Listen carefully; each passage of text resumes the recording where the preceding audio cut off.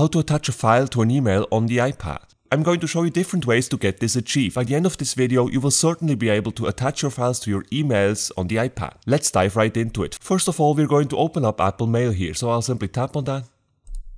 And after that, to write a new email, we're going to tap on this symbol here in the upper right corner of the screen.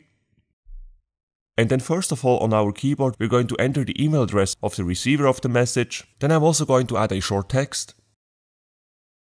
And now if I would like to attach a file to my email here on the iPad, then there are actually two ways to do it. Usually on the keyboard here in the upper right corner, you should see several small icons, one of which would be the attach file icon. However, this icon is actually missing for me here, and it might be missing for you as well. Here's how this icon should look like. So have a look on your keyboard whether you have this icon or not. If you do, it will look like this here.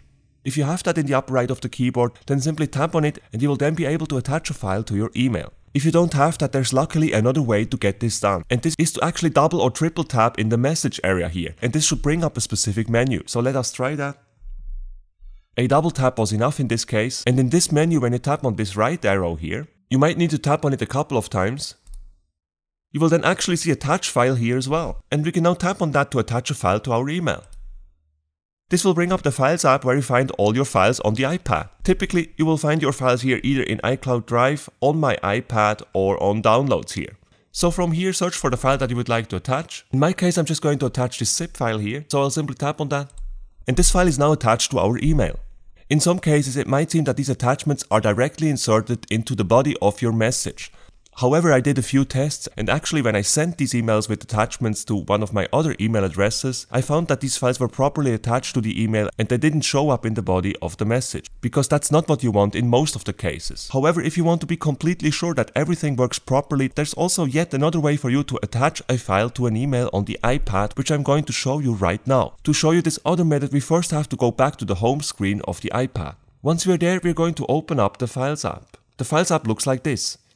If you can't find the Files app, there's an easy way for you to bring it up, and that is to swipe down with one finger from the middle of the screen here.